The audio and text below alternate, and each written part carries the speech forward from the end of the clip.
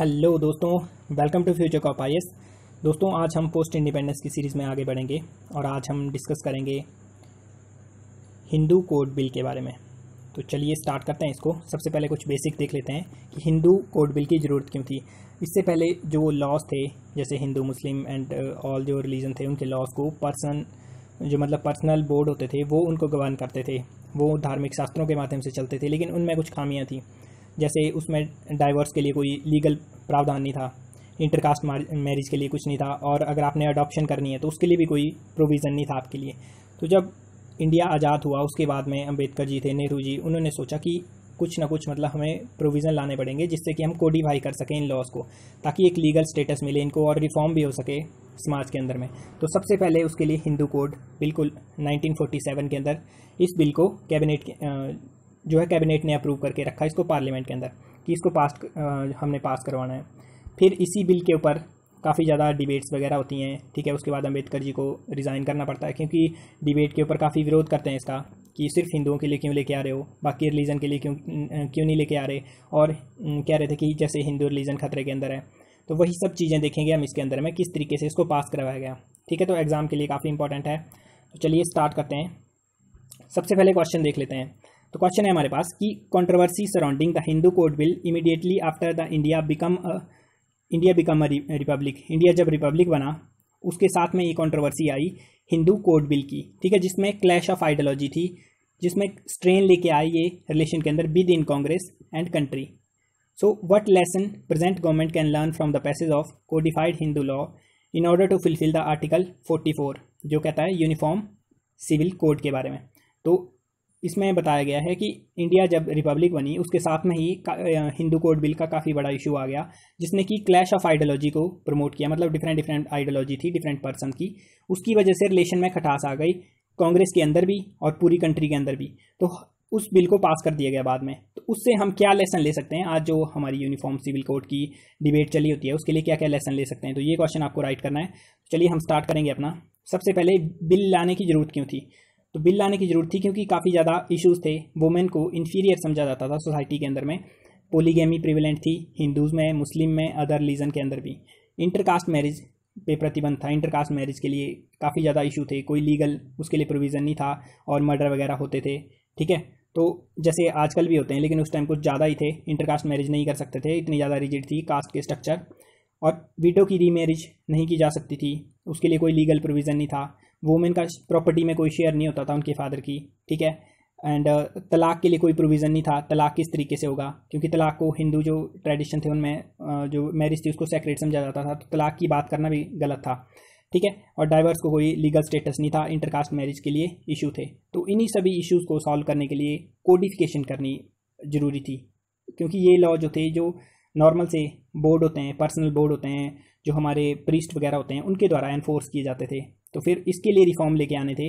उसी के लिए जो अंबेडकर जी थे, वो उस टाइम लॉ मिनिस्टर थे। उन्होंने बिल प्रेजेंट किया, ठीक है? तो अब देखेंगे what is Hindu code bill तो हिंदू कोड बिल क्या था? ये था सीरीज़ ऑफ़ लॉ इसमें काफ़ी लॉज थे, जैसे चार लॉ की फॉर्म में इसको पास किया गया था, जो कि इंटेंडेड था प्रोवाइड करवाना था इसने एक सिविल कोड मतलब कोडिफाई करना था जो हमारे लॉ थे। किन चीज़ों के लिए? जो हमने पहले देखे पोलीगेमी इंटरकास्ट मैरिज इन सबको एक लीगल तरीके से हैंडल करना था ताकि सोसाइटी की अपलिफ्टमेंट हो सके। उसके लिए हमारे पास हिंदू कोड बिल था। ठीक है? तो नेक्स्ट चलते हैं। अब how it came into picture किस तरीके से ये पिक्चर में आया तो हिंदू कोड बिल को क्रिएट करने वाले थे डॉक्टर बी आर अंबेडकर जो कि लॉ मिनिस्टर थे फ़र्स्ट लॉ मिनिस्टर हमारे, उन्होंने इसको क्रिएट किया था। उन्होंने काफ़ी प्रायोरिटी दी थी, आपको पता होगा कि आज़ादी से पहले भी उन्होंने सोशल जो इश्यूज़ थे, उनको काफ़ी प्रायोरिटी दी थी और उन्होंने यहाँ तक कह दिया था कि जो सोशल इशू हैं, वो ज़्यादा इंपॉर्टेंट हैं आज़ादी से। ठीक है तो उन्होंने अंग्रेज़ों के साथ मिलके सोशल इशू के लिए अंग्रेज़ों के साथ भी हाथ मिलाया, ताकि सोसाइटी की अपलिफ्टमेंट की जा सके। तो उन्हीं ने आज़ाद भारत के अंदर में इस बिल को प्रेजेंट किया। और पंडित जवाहरलाल नेहरू इनके साथ थे। मतलब इन दोनों का काफ़ी ज़्यादा योगदान रहा इसके अंदर। में आगे देखेंगे किस तरीके से इन्होंने इसको बढ़ावा दिया। और इसके प्रोविज़न क्या थे? इसके प्रोविज़न थे मोनोगेमी को मैंडेटरी कर देना था पोलीगेमी को ख़त्म करना था। और ये बिल हिंदू कोड बिल था तो सिर्फ़ हिंदूज़ के लिए अप्लाई होना था। ठीक है?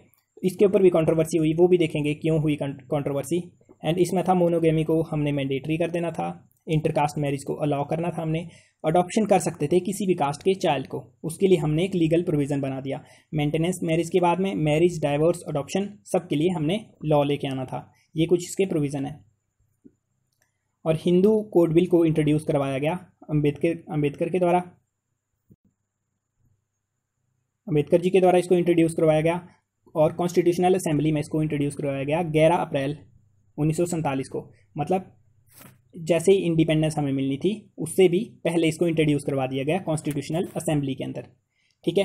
तो एक लेसन जैसे हम इससे क्या ले सकते हैं यूनिफॉर्म सिविल कोड के लिए, कि कोई राइट टाइम नहीं होता किसी चीज़ के लिए। जो पर्सन है, अगर उनकी इंटेंशन अच्छी होती है तो वो किसी भी समय, जैसे अभी तो आज़ादी भी नहीं मिली, लेकिन अंबेडकर जी ने इंट्रोड्यूस करवाया कि रिफॉर्म होने चाहिए। तो नेक्स्ट आता है इसमें कि बिल को मूव कर दिया गया सेलेक्ट कमेटी के पास में, जैसे आपने पढ़ा होगा लक्ष्मीकांत के अंदर, बिल को उसके ऊपर डिस्कशन होती है, उसको सेंड कर दिया जाता है सेलेक्ट कमेटी के ऊपर कमेटी को, वो उसकी स्क्रूटिनी करती है, ठीक है? और इसमें 1948 के अंदर ये किया गया एंड नेक्स्ट क्या किया गया? पार्लियामेंट्री डिबेट्स हुई इसमें, चार साल तक कंटिन्यू रही पार्लियामेंट की डिबेट्स ठीक है? जर्नल इलेक्शन हुए, उसके बाद फिर इसको जो बिल पास करने की प्रोसेस थी वो आगे बढ़ी, क्योंकि इससे पहले काफ़ी ज़्यादा प्रोटेस्ट हुआ इसके बारे में, जो हमारा बिल था। ठीक है तो इसमें हम ये देख सकते हैं कि काफ़ी ज़्यादा डिस्कशन हुई डेलीब्रेशन हुई इसके अंदर में, और इसको पास कर दिया गया। हालाँकि अभी आज़ादी नई नई मिली थी, कुछ लोग कह रहे थे कि अभी इसकी क्या ज़रूरत है, लेकिन अंबेडकर जी ने कहा कि सोशल जो रिफॉर्म्स हैं, इनकी काफ़ी ज़्यादा ज़रूरत है। ठीक है नेक्स्ट आता है, बाद में क्या हुआ, इसको चार साल तक डिबेट चली इसकी 1951 में 1951 के एंड तक हमारे जर्नल इलेक्शन होने थे। क्योंकि अभी तो कॉन्स्टिट्यूशनल असेंबली थी जो कि इलेक्टेड नहीं थी तो फ़र्स्ट जो जनरल इलेक्शन होने थे 1951 के एंड में और 1952 के स्टार्टिंग तक चले ये। ठीक है तो अंबेडकर जी ने बोला कि जो 1951 के इलेक्शन है, इनसे पहले पास करवा दिया जाए बिल को।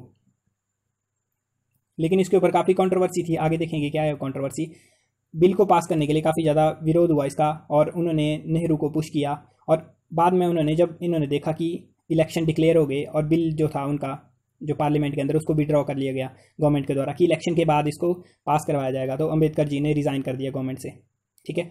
इन इन्होंने रिज़ाइन कर दिया twenty seven September nineteen fifty one को। इन्होंने कहा कि प्राइम मिनिस्टर नेहरू जो हैं, वो इतने ज़्यादा मतलब इन्होंने पुश नहीं किया, ये कर सकते थे, लेकिन इतना पुश नहीं किया इन्होंने। लेकिन आगे देखेंगे नेहरू की क्या भूमिका है इसके अंदर बिल को पास करवाने के लिए। तो अब अंबेडकर जी ने रिज़ाइन कर दिया। अब रिज़ाइन करने के पीछे काफ़ी ज़्यादा डिबेट्स हुई जो कांग्रेस के कुछ मेंबर थे, वो भी इसके विरोध में हो गए थे कि ये गलत है। और उस टाइम के प्रेसिडेंट डॉक्टर राजेंद्र प्रसाद भी इसके विरोध के अंदर थे, ठीक है? तो अब देखेंगे विरोध क्यों कर रहे थे इसमें? क्या इशू था जो हिंदू कोड बिल था? क्योंकि ये तो रिफॉर्म की बात कर रहा था वुमेन्स के इशू की बात कर रहा था, सबको इक्वालिटी लाने की बात कर रहा था। तो उसमें इशू क्या आ गए सबको? तो सबसे पहले इशू आया कि सिर्फ़ हिंदुओं के लिए क्यों लेके आ रहे हैं? जैसे हिंदू महासभा के लोग, जनसंघ के लोग, वो कह रहे थे कि सिर्फ़ हिंदुओं के लिए क्यों लेके आ रहे हैं? वो जैसे श्यामा प्रसाद मुखर्जी थे, उन्होंने कहा कि नेहरू जो हैं वो मुस्लिम से डरते हैं कि वो एक्सेप्ट नहीं करेंगे इसको। जो हमारे उनके लॉज को अगर छेड़छाड़ की जाएगी तो वो एक्सेप्ट नहीं करेंगे, ऐसा कहना था श्यामा प्रसाद मुखर्जी का। ठीक है तो उन्होंने बोला कि अगर आपने लॉ पास करना है तो यूनिफॉर्म सिविल कोड पास करो आप। ठीक है? और नेक्स्ट आता है कि हिंदू रिलीजन के अंदर में सिख को जैन को और बुद्धिस्ट को इंट्रोड्यूस करवाया गया था। तो इससे फिर ये इशू आया कि सिखों ने कहा कि हमें हिंदू रिलीजन के अंदर मिलाने की कोशिश की जा रही है। हमारा इंडिपेंडेंट रिलीजन है। आप हिंदू की डेफिनेशन में, जो हिंदू कोड बिल में हिंदू की डेफिनेशन है, उसके अंदर आप सिखों को कैसे एंटर करवा सकते हो? तो उनको भी इसमें रिजर्वेशन थी। नेक्स्ट इसमें इशू आता है कि फ़र्स्ट जनरल इलेक्शन जैसे मैंने बताया, अभी कॉन्स्टिट्यूशनल असेंबली ही थी, जो कि ये लॉ पास कर रही थी। उसी को पार्लियामेंट माना जा रहा था 1951 के अंदर फ़र्स्ट लोकसभा के इलेक्शन हुए, अभी वो नहीं हुए थे तो इन्होंने बोला कि आपके पास में जब पीपल का मैंडेट ही नहीं है, आप कैसे कर सकते हो उसको? नेक्स्ट था कि जो कंजर्वेटिव थे, हिंदू, उन्होंने बोला कि फैमिली सिस्टम ब्रेक हो जाएगा इससे। जो डाइवर्स वगैरह आप बात कर रहे हो, उससे फैमिली सिस्टम ब्रेक हो जाएगा। हिंदू ट्रेडिशन में जो फैमिली है, उनको सेक्रेट माना जाता है मैरिज को सेक्रेट माना जाता है तो डिवोर्स वगैरह, वो तो मतलब इसके बारे में बात करना भी पाप है। और अपोजिशन किस किस से मिल रही थी? आरएसएस हिंदू महासभा स्वामी करपात्री महाराज जी जिन्होंने काफ़ी प्रोटेस्ट किया इसके बारे में, ठीक है? और उस टाइम के प्रेसिडेंट डॉक्टर राजेंद्र प्रसाद, सरदार वल्लभ भाई पटेल, उनके द्वारा भी और काफ़ी मतलब मदन मोहन मालवीय और जो ट्रेडिशनल कांग्रेस मैन थे, उन्होंने भी अपोजिशन की इसकी। तो काफ़ी ज़्यादा अपोजिशन हुई बिल की। फिर उसके बाद में नेहरू जी ने उसको वापस ले लिया और कहा कि जो 1951 के जनरल इलेक्शन होंगे 1951 टू के, उसके बाद इसको फिर से पास करवाने की कोशिश की जाएगी। और इसी बीच में इस इलेक्शन से पहले डॉक्टर बी आर अंबेडकर ने रिज़ाइन कर दिया, क्योंकि ये बिल पास नहीं हो रहा था।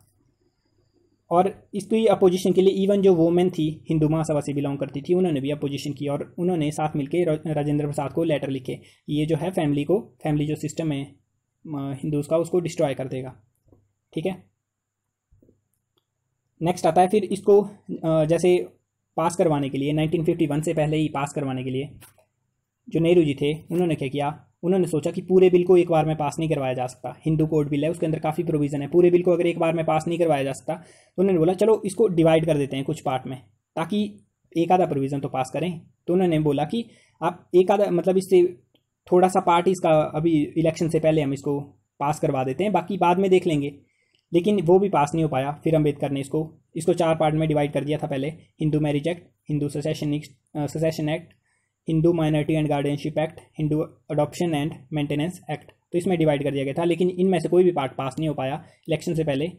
इसलिए ये फेल हो गया और डॉक्टर बी आर अंबेडकर ने रिज़ाइन कर दिया। नेक्स्ट आते हैं, अब फ़र्स्ट जर्नल इलेक्शन होंगे अब 1951 एंड स्टार्टिंग ऑफ़ 1952 तब तक चलते हैं। तो फ़र्स्ट जर्नल इलेक्शन होते हैं। नेहरू जी ने कॉन्टेस्ट किया इसके ऊपर। ये यूपी से चुनाव लड़ रहे थे। ठीक है? और इनके खिलाफ जो पर्सन था, वो थे प्रभुदत्त ब्रह्मचारी। प्रभुदत्त ब्रह्मचारी ने इनके खिलाफ लड़ा और मेन मुद्दा उनका था हिंदू कोड बिल। उन्होंने बोला कि हिंदू कोड बिल हिंदुओं के खिलाफ है तो आप इसको पास नहीं करवा सकते। और उन्होंने चैलेंज किया नेहरू को कि अगर आप मानते हो कि ये शास्त्रों के हिसाब से है तो आप आइए इलेक्शन लड़िए और देखते हैं फिर। तो नेहरू ने इलेक्शन कॉन्टेक्स्ट किया और उनसे काफ़ी मात्रा काफ़ी वोटों से जीते भी। ठीक है, जो प्रभुदत्त ब्रह्मचारी थे, उनसे काफ़ी वोटों से जीते भी, लेकिन नेहरू ने भी इसी मुद्दे पे लड़ा कि हिंदू कोड बिल तो मैं पास करवा के ही छोड़ूँगा। लेकिन अब इन्होंने थोड़ा सा अपना स्टैंड जो है डायल्यूटेड कर दिया था। इन्होंने बोला कि जो आपको लगता है कि चेंजेस करवाने की ज़रूरत है, वो हम कर भी देंगे। क्योंकि इनको भी लगता था कि इतना बड़ा मुद्दा है। अगर इसमें सेंटिमेंट ज़्यादा हावी हो गए लोगों के ऊपर और मैं हार गया तो वो गलत हो जाएगा। तो इन्होंने भी थोड़ा डायल्यूट कर दिया कि ठीक है? सबकी पार्टिसिपेशन इंश्योर की जाएगी। अगर आपको लगता है कि कोई इशू है बिल के अंदर तो उनको रिजॉल्व किया जाएगा। और नेहरू जी मेजोरिटी के साथ जीते। 1951 का इलेक्शन अब उसके बाद डॉक्टर बी आर अंबेडकर ने भी इलेक्शन लड़ा था इंडिपेंडेंट कैंडिडेट के तौर पे। लेकिन वो हार गए। इसी मुद्दे के ऊपर वो हार गए। अब बचे सिर्फ़ नेहरू। सिर्फ़ इन्हीं के कंधों पे था कि हमने यूनिफॉर्म जो हिंदू कोड बिल है उसको पास करवाना है। अब इनके पास मेजोरिटी थी तो अब इनको कोई रोक नहीं सकता था। तो इन्होंने काफ़ी पुश किया इसको। हालाँकि थोड़ा डाइल्यूट कर दिया था, जो पहले वाला बिल था, उससे थोड़ा डाइल्यूट कर दिया था, लेकिन इन्होंने पुश किया। डिटेल डिबेट हुई डिस्कशन हुई एंड 1955 में इसको पास कर दिया गया। और ये चार लॉ मैरिज मेंटेनेंस डाइवोर्स इनको पास कर दिया गया पार्लियामेंट के द्वारा। नेक्स्ट आता है जो हमारा क्वेश्चन था, उसको देखते हैं। ठीक है? तो सबसे पहले अगर हम रिकैप करें क्या हमने देखा 1947 में बिल को इंट्रोड्यूस करवाया गया, ठीक है? 1948 के अंदर उसको सेलेक्ट कमेटी के पास भेज दिया गया। फिर उसके बाद उसमें डिस्कशन हुई, उसको चार पार्ट में डिवाइड कर दिया गया। लेकिन जो हमारे 51 के इलेक्शन थे, जो हमारे 1951 के इलेक्शन थे, उससे पहले उसको पास नहीं करवा पाए तो बी आर अंबेडकर ने रिज़ाइन कर दिया। ठीक है? उन्होंने रिज़ाइन किया। नेहरू जी इस मुद्दे के ऊपर फिर से जीत के आए। ठीक है? इलाहाबाद से जीत के आए। एंड ने पुश किया और इसको फिर पास करवा दिया गया बिल को। तो इसमें मैसेज क्या ले सकते हैं हम? यूनिफॉर्म सिविल कोड को पास करने के लिए। फ़र्स्ट पॉलिटिकल विल चाहिए आपको। ठीक है? जो हमारे पॉलिटिशियन थे अंबेडकर जी नेहरू जी नेहरू जी और अंबेडकर जी ने कॉन्टेस्ट किया इलेक्शन इसी मुद्दे के ऊपर। हालाँकि नेहरू जी जीते अंबेडकर जी इंडिपेंडेंट कैंडिडेट के तौर पर हार गए।